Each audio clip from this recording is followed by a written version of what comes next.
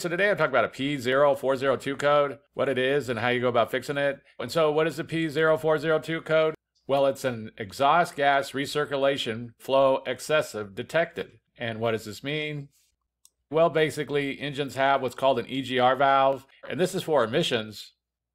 The EGR valve feeds exhaust gases back up into the intake manifold so that these exhaust gases go back into the engine to be burnt off and this helps to lower the combustion temperature inside the engine, which reduces nitrogen oxide, which is for emissions. But when you get a P0402 code, the computer's seeing that there's some kind of issue going on here. And mainly that this flow coming from the exhaust going into the intake is excessive, that there's too much going into the intake for some reason. And so it's going to have to be troubleshooted know why. And one thing to note about these EGR valves is that they can't be different designs, they can't be controlled differently. Older vehicles quite often were controlled by vacuum. Newer vehicles are going to be electronically controlled. So it is a good idea that if you are going to work on your vehicle and the EGR valve to get a diagram to know what's going on with it, where it's located, how it's being controlled, different things like this. So basically keep in mind that there is different designs for the EGR valve. And so what would be some possible causes of a P0402 code? Well, the first thing that could cause this is a bad sensor. And basically, the sensor that's reporting back to the computer what the pressure is and what that EGR valve is doing has gone bad. And it's reporting bad information back to the computer. So the computer just thinks there's a problem when there isn't. Depending on the vehicle, it could be different which sensor is reporting this information back to the computer. And this is going to be like a differential pressure sensor or a bad manifold absolute pressure sensor. If the differential pressure sensor or another sensor goes bad, then that's going to cause issues because basically the computer's getting the wrong information. Usually, if one of these sensors does go bad, you're going to get another code.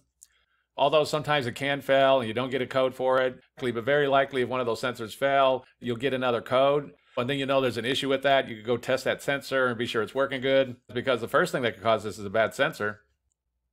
The next thing that could cause this is that that EGR valve has gone bad and just needs to be replaced. It might be having some kind of issue and it's not working the way it's supposed to be working. One thing to note about these EGR valves is that they can be electronically controlled and they can also be vacuum controlled. Like I said before, it's going to vary. It's going to depend on the vehicle, the year, the make, different things like this. But the next thing that could cause this is a bad EGR valve. The next thing that might cause this is that the EGR valve has become all clogged up or one of the passages is clogged. But usually if those passages become all clogged up, you're going to get another code, like a P0401 code or something like that, that's saying flow restricted. With this code, it's saying flow excessive. So very likely this isn't the cause, but it is very common for these EGR valves to become all clogged up. And so there might be some kind of issue going on with that. There's a lot of times just taking it apart and cleaning up the EGR valve and any passages that are going into the engine and things along these lines that might be restricting flow. And that often solves a lot of problems. But like I said, usually when that happens, you're going to get another code. But the next thing on the list is that that EGR valve is clogged.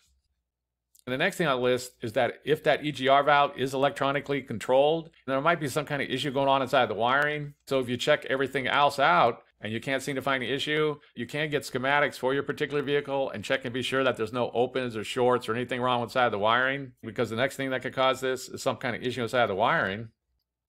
And the last thing on the list is going to be a bad vacuum hose going to the EGR valve. And this is going to be for older vehicles that use vacuum to control the EGR valve.